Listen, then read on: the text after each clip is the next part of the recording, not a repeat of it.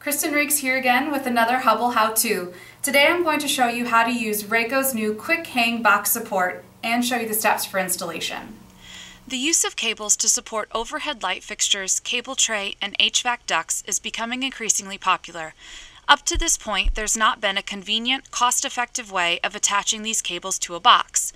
Installers are forced to use eye bolts, which are costly and time-consuming. But RACO's Quick Hang Box support changes all that.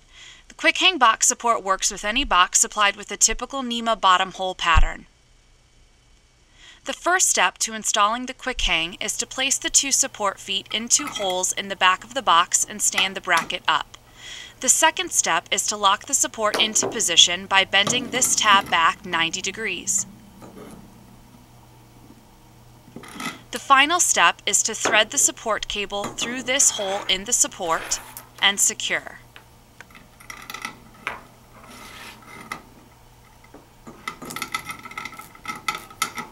The KWIK-HANG is supplied in cartons containing 50 supports with an instruction sheet and can be ordered under RACO catalog number 991.